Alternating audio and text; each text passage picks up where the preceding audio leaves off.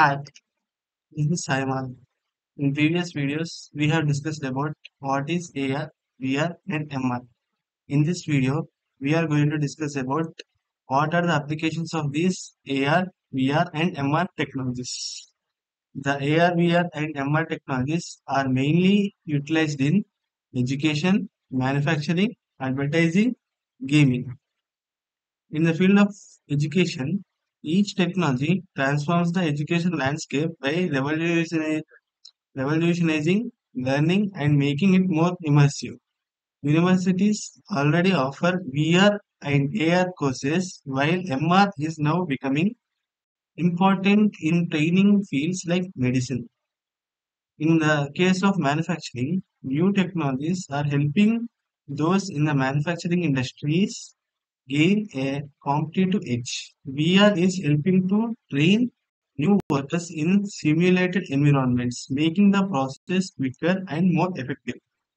AR gadgets assist workers reduce human error, save time, and increase efficiency. MR facilitates manufacturing process by providing workers with real-time assistance. Working can see holographic instructions before their eyes so they always know what to do.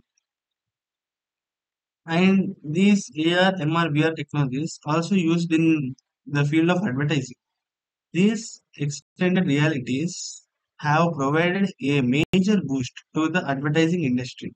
They help marketers and advertisers reach out to their audiences more efficiently. Unlike conventional ads, AR ads are interactive and engaging. So they promote sales and increases brand awareness. Finally, they are mostly used in gaming. The gaming industry is booming. Thanks in part of to these new technologies, VR, AR, and MR are bringing a level of immersiveness and entertainment to the world of gaming that would scarcely have been imaginable a decade ago.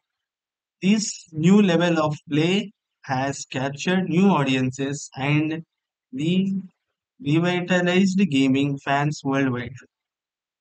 These are the some important fields where AR, VR, and MR are utilized.